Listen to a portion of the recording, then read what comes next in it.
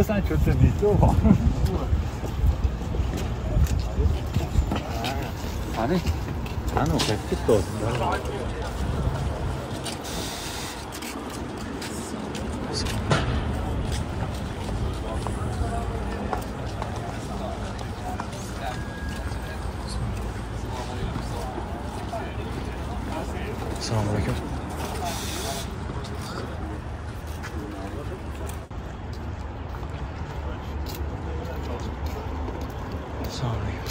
지금 그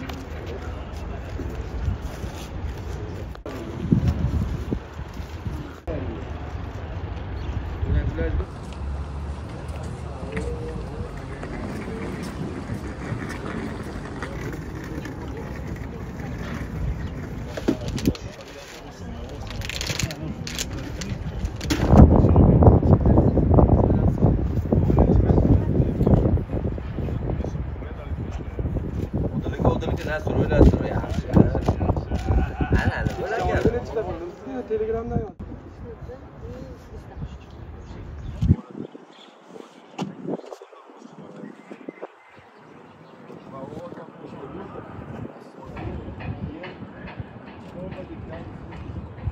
Thank you.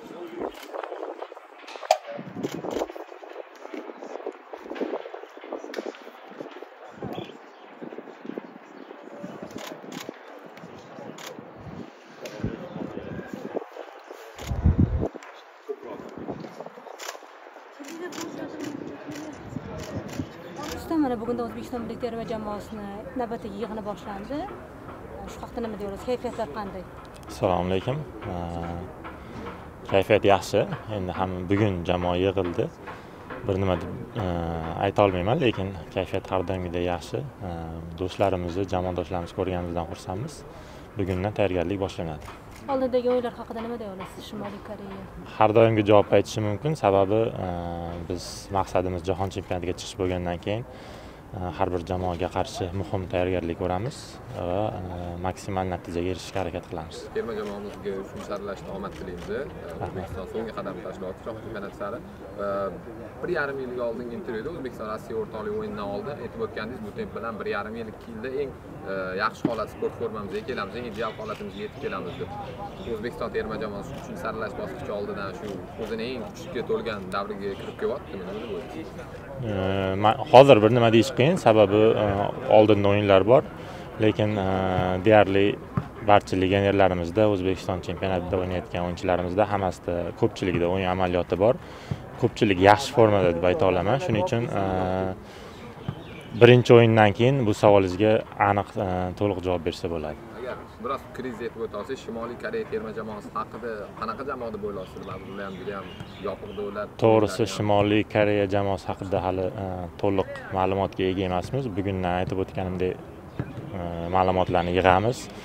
Mashg'ulotlarda tayyorgarlik ko'ramiz. Murabbiylar yig'gan ma'lumotni bizga albatta berishadi. Shundan so'ng o'yinga tayyorgarlik ko'rishni boshlaymiz lekin ma'lumot hozircha kam.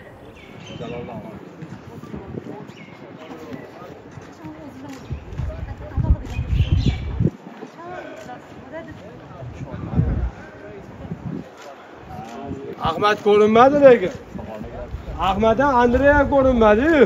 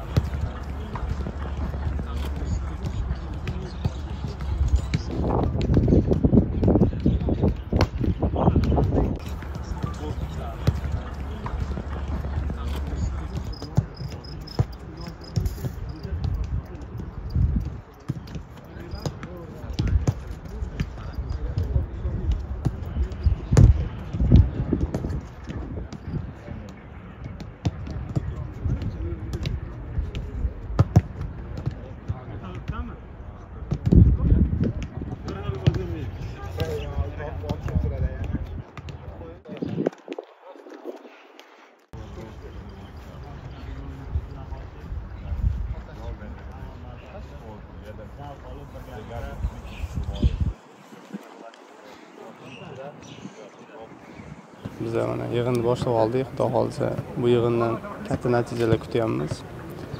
Endi klubim klubimga keladigan bo'lsak, biz chempionatda hozircha yomon emas. Ikkinchi o'rinda ketyapmiz. Liga chempionatda hozir endi boshlaymiz. Liga chempionatda hozir zadachi guruhdan chiqish uchun vazifa qo'ygan. Shunga harakat qilamiz klubim bilan. yangi klubda o'zingizni qanday his qilmoqdasiz jamoaga qo'shib ketish bo'lganda hammasi yaxshi bo'lyapti faqat faqat issig'ini hisobga olmasa yaxshi bo'lyapti. O'zbekiston terma jamoasiga yangi saralash bosqichida omad tilaymiz. Shu endi har doim bizni e, solishtirishni yaxshi ko'ramiz. O'zidan nazarda o'zbekiston grand jamoalarga o'ynagan malayziyani top jamoasiga o'tgandan chempionatimizni qanaqa farq deb o'ylaysiz malayziya va o'zbekiston futboli o'rtasida qanaqa farqlilar bor yoki o'xshashlik vaalaykum assalom rahmat. Endi buni tortish kerak emas bizni chempionatimiz kuchliroq u aniq u. Shuning uchun ham endi u yoqda ko'pincha legionerlar mm, olib borib o'ynatib jamoani shunga qurishadi shuning uchun ham hozir liga chempionka o'ynayotgan jamoalari legionerlar ko'p. Э, shular shular orqali э, liga chempionatda zadachi qilmoqchi.